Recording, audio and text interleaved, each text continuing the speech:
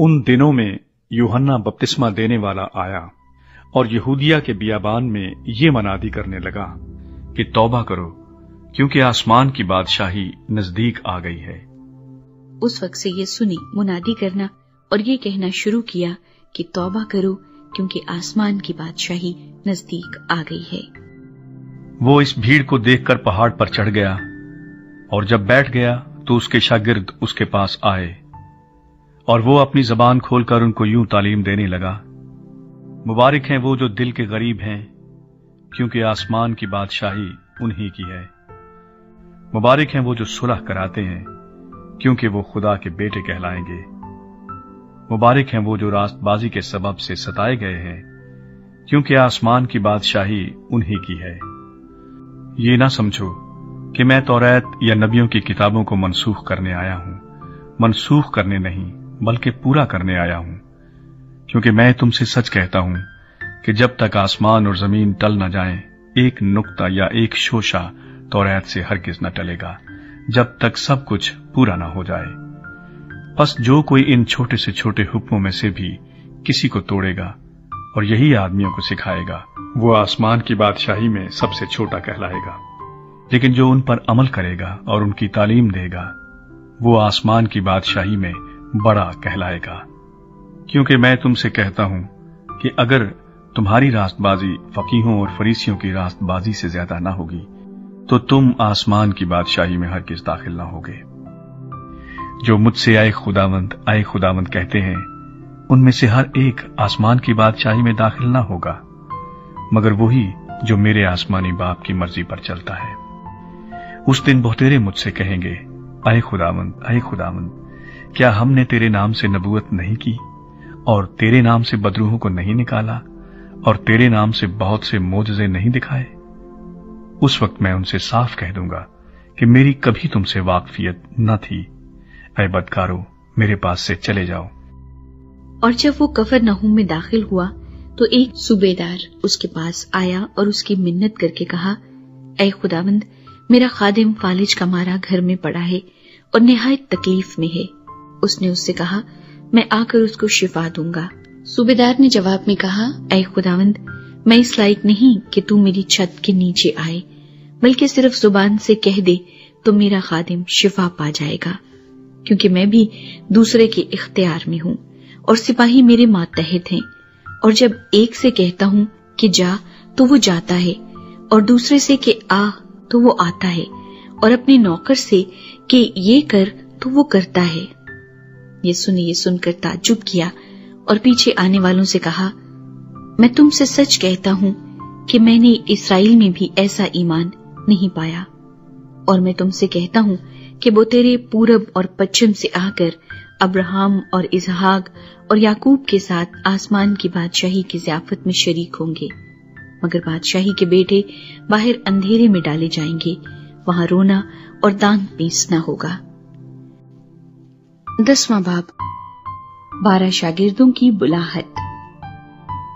फिर उसने अपने बारह शागिर्दों को पास बुलाकर उनको नापाक रूहों पर इख्तियार बख्शा कि उनको निकाले और हर तरह की बीमारी और हर तरह की कमज़ोरी को दूर करे। और बारह रसूलों के नाम ये हैं। पहला, शमाउन, जो पत्रस्त कहलाता है, और उसका भाई इंद्रयास। जब्दी का बेटा याकूब और उसका भाई योहन्ना।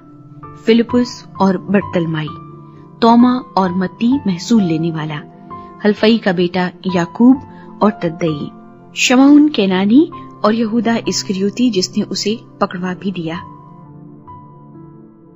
शागिर्दों को भेजना। इन बारह को यसु ने भेजा और उनको हुक्म देकर कहा, गैर कौमों की तरफ़ न जाना और सामरियों के किसी शहर में दाखिल न होना। बल्कि इसराइल के घराने की खोई हुई भेड़ों के पास जाना और चलते चलते ये मुनादी करना कि आसमान की बादशाही नज़दीक आ गई है। मैं तुमसे सच कहता हूँ कि जो औरतों से पैदा हुए हैं, उनमें यूहन्ना बपतिस्मा देने वाले से बड़ा कोई नहीं हुआ।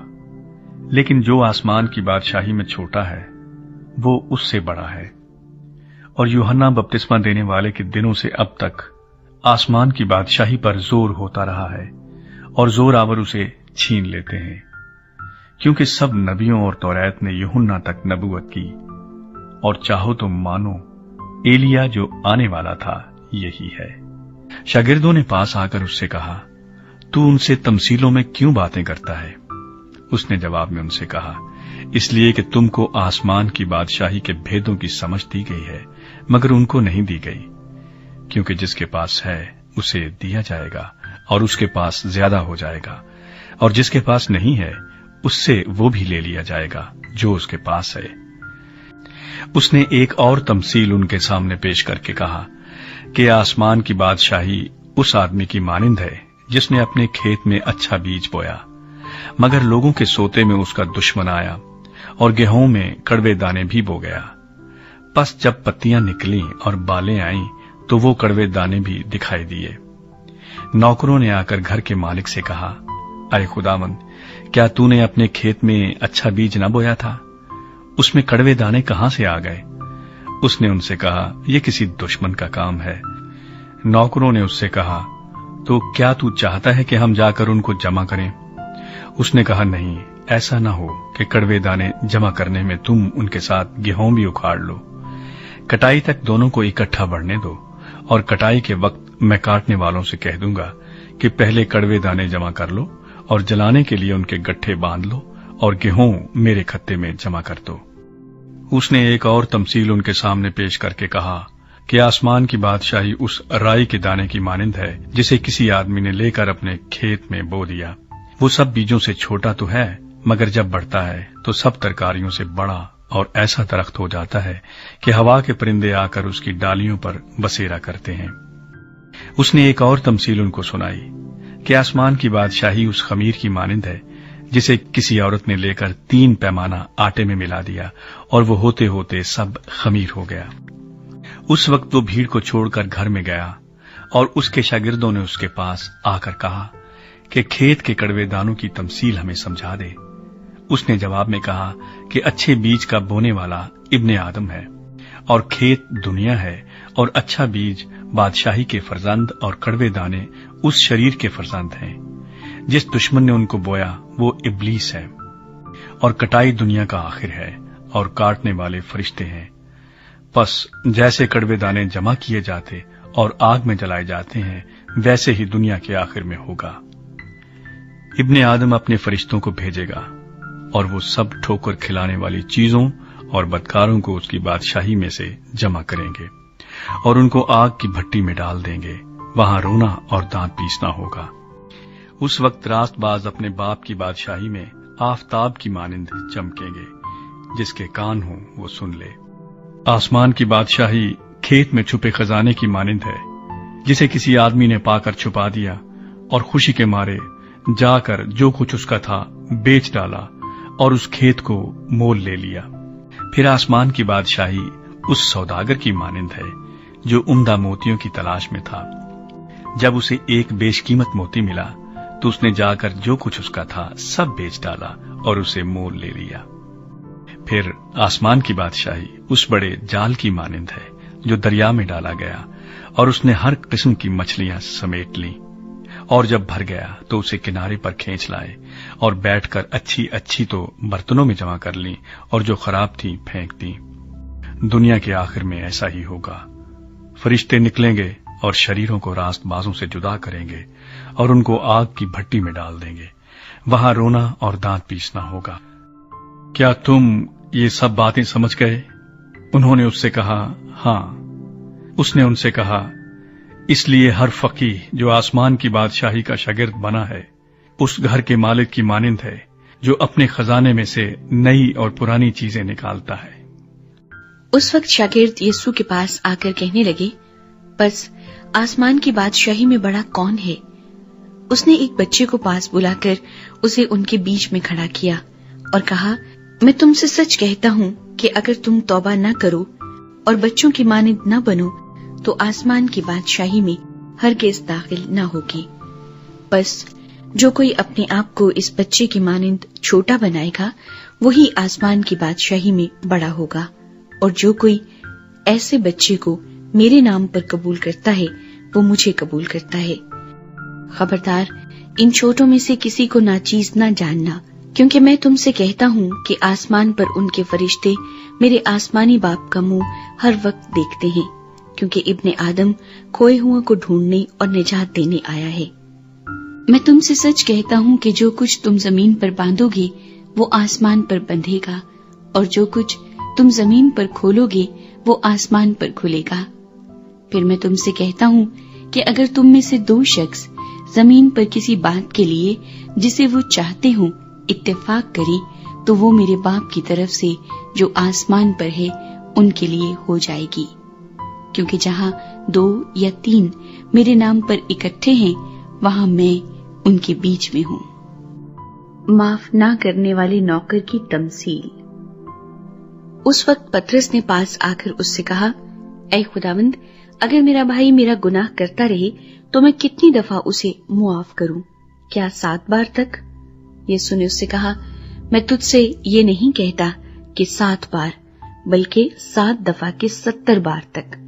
बस आसमान की बादशाही उस बादशाह की मानंद है, जिसने अपने नौकरों से हिसाब लेना चाहा। और जब हिसाब लेने लगा तो उसके सामने एक कर्जदार हाजिर किया गया, जिस पर उसके दस हज़ार तोड़े आते थे।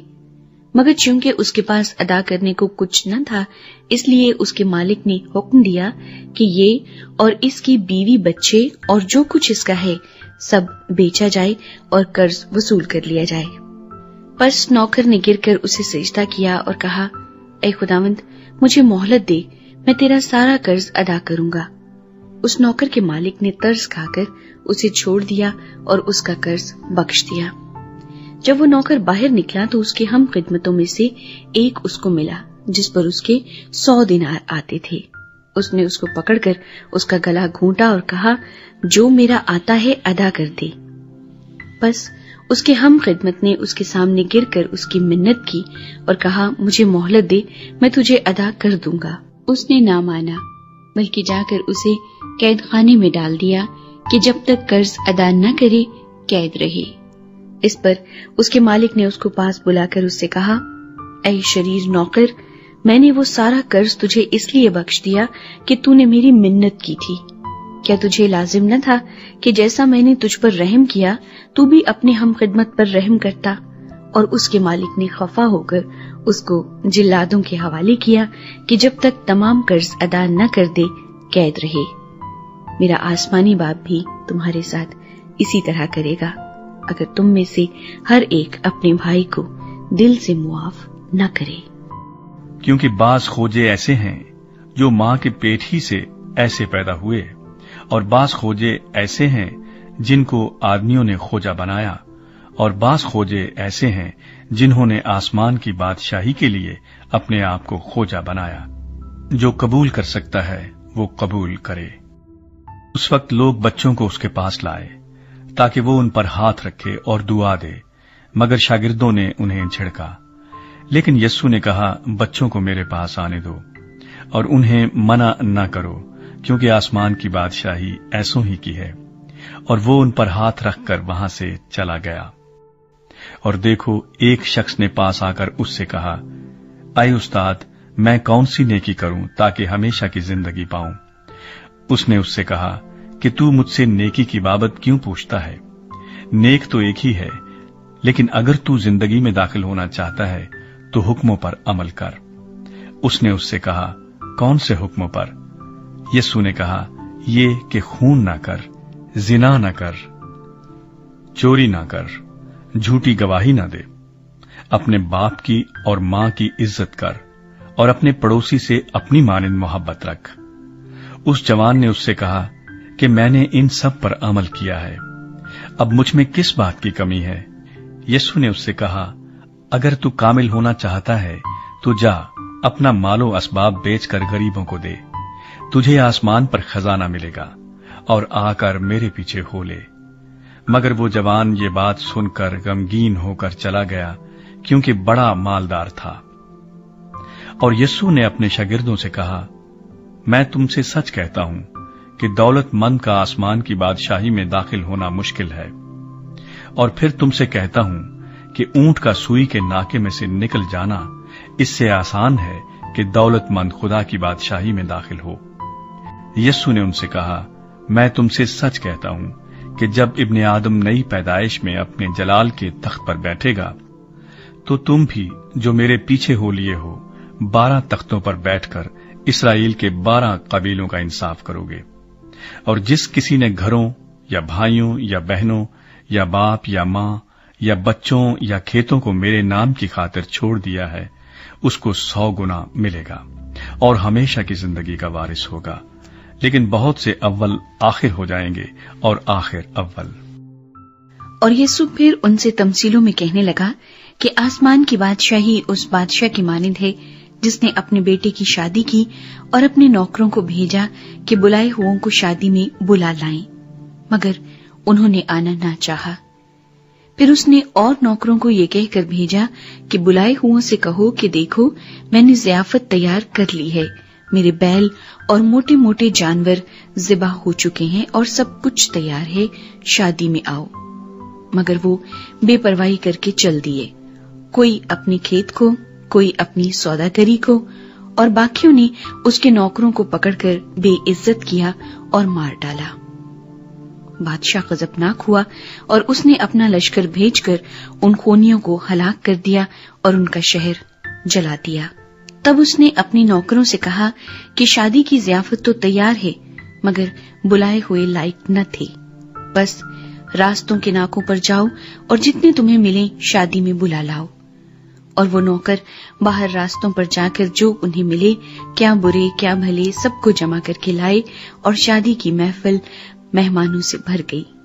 और जब बादशाह मेहमानों को देखने को अंदर आया तो उसने वहाँ एक आदमी को देखा जो शादी के लिबास में ना था, और उसने उससे कहा, मिया, तू शादी की पोशाक पहने बगैर यहाँ क्यों कर आ गया?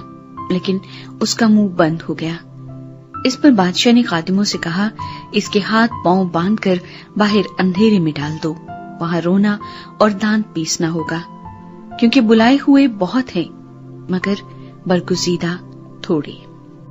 अय रियाकार फकीहो और फरीसियो, तुम पर अफसोस कि आसमान की बादशाही लोगों पर बंद करते हो, क्योंकि ना तो आप दाखिल होते हो और ना दाखिल होने वालों को दाखिल होने देते हो। उस वक्त आसमान की बादशाही उन दस कंवारियों की मानिंद होगी जो अपनी मशलें लेकर दुल्हा के इस्तकबाल को निकली। उनमें पाँच बेवकूफ़ और पाँच अकलमंद थीं। जो बेवकूफ़ थीं, उन्होंने अपनी मशालें तो ले ली, मगर तेल अपने साथ ना लिया। मगर अकलमंदों ने अपनी मशलों के साथ अपनी कुपियों में तेल भी ले लिया। और जब दुल्हा ने देर लगाई तो सब ऊंघने लगी और सो गईं। आधी रात को धूम मची कि देखो दुल्हा आ गया। उसके इस्तकबाल को निकलो। उस वक्त वो सब कंवारियाँ उठकर अपनी अपनी मशल दुरुस्त करने लगी। और बेवकूफों ने अकलमंदों से कहा कि अपने तेल में से कुछ हमको भी दे दो, क्योंकि हमारी मशलें बुझी जाती हैं। अकलमंदों ने जवाब दिया कि शायद हमारे तुम्हारे दोनों के लिए काफ़ी ना हो। बेहतर यह है कि बेचने वालों के पास जाकर अपने वास्ते मोल ले लो। जब वो मोल लेने जा रही थीं तो दुल्हा आ पहुँचा, और जो तैयार थीं, वो उसके साथ शादी के जश्न में अंदर चली गईं, और दरवाज़ा बंद हो गया। फिर वो बाकी कमारियाँ भी आईं और कहने लगी अय खुदामंद अय खुदामंद हमारे लिए दरवाज़ा खोल दे। उसने जवाब में कहा, मैं तुमसे सच कहता हूँ कि मैं तुमको नहीं जानता। बस जागते रहो, क्योंकि तुम ना उस दिन को जानते हो, ना उस घड़ी को। क्योंकि ये उस आदमी का सा हाल है, जिसने परदेश जाते वक्त अपने घर के नौकरों को बुलाकर अपना माल उनके सुपुर्द किया और एक को पाँच तोड़े दिए दूसरे को दो और तीसरे को एक, यानी हर एक को उसकी लियाकत के मुताबिक दिया और परदेश चला गया। जिसको पाँच तोड़े मिले थे, उसने फ़ौरन जाकर उनसे लेन देन किया और पाँच तोड़े और पैदा कर लिए। इसी तरह जिसे दो मिले थे, उसने भी दो और कमाए। मगर जिसको एक मिला था, उसने जाकर ज़मीन खोदी और अपने मालिक का रुपया छुपा दिया। बड़ी मुद्दत के बाद उन नौकरों का मालिक आया और उनसे हिसाब लेने लगा। जिसको पाँच तोड़े मिले थे, वो पाँच तोड़े और लेकर आया और कहा अय खुदावन, तूने पाँच तोड़े मुझे सुपुर्द किए थे। देख मैंने पाँच तोड़े और कमाए। उसके मालिक ने उससे कहा अय अच्छे और दयानतदार नौकर, शाबाश, तू थोड़े में दयानतदार रहा। मैं तुझे बहुत चीज़ों का मुख्तार बनाऊँगा। अपने मालिक की खुशी में शरीक हो। और जिसको दो तोड़े मिले थे, उसने भी पास आकर कहा अय खुदावंद, तूने दो तोड़े मुझे स्पुर्द किए थे, देख मैंने दो तोड़े और कमाए। उसके मालिक ने उससे कहा अय अच्छे और दयानतदार नौकर, शाबाश, तू थोड़े में दयानतदार रहा। मैं तुझे बहुत चीज़ों का मुख्तार बनाऊँगा, अपने मालिक की खुशी में शरीक हो। और जिसको एक तोड़ा मिला था वो भी पास आकर कहने लगा, अरे खुदामन मैं तुझे जानता था कि तू सख्त आदमी है, और जहाँ नहीं बोया, वहाँ से काटता है, और जहाँ नहीं बखेरा, वहाँ से जमा करता है। बस मैं डरा, और जाकर तेरा तोड़ा ज़मीन में छुपा दिया। देख जो तेरा है, वो मौजूद है। उसके मालिक ने जवाब में उससे कहा अय शरीर और सुस्त नौकर, तू जानता था कि जहाँ मैंने नहीं बोया, वहाँ से काटता हूँ, और जहाँ मैंने नहीं बखेरा वहाँ से जमा करता हूँ। बस तुझे लाजिम था कि मेरा रुपया साहूकारों को देता तो मैं आकर अपना माल सूद समेत लेता। बस इससे वो तोड़ा ले लो, और जिसके पास दस तोड़े हैं, उसे दे दो। क्योंकि जिसके पास है, उसे दिया जाएगा, और उसके पास ज़्यादा हो जाएगा। मगर जिसके पास नहीं है, उससे वो भी जो उसके पास है, ले लिया जाएगा। और इस निकम्मे नौकर को बाहर अंधेरे में डाल दो। वहाँ रोना और दांत पीसना होगा।